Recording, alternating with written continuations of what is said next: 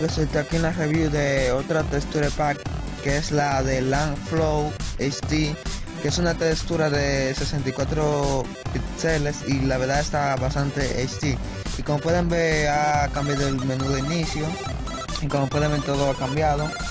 Sí y pues este empecemos con lo que sería la review que aquí está en puto mundo. Me cago en 10 bueno bueno bueno así no se pues bueno aquí aquí estamos la verdad produce hace muy bien. Como pueden ver aquí se ven las, las plantas que tienen bug sí porque no sé por qué tienen bug la verdad.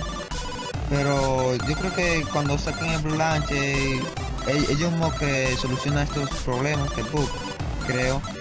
Son simple bug como pueden ver los botones de o JPad como se llame pues se ve bastante genial y pues aquí tenemos cómo se ve todo eso. Y la verdad se ve muy, sí pues pasamos por aquí que tenemos la pintura.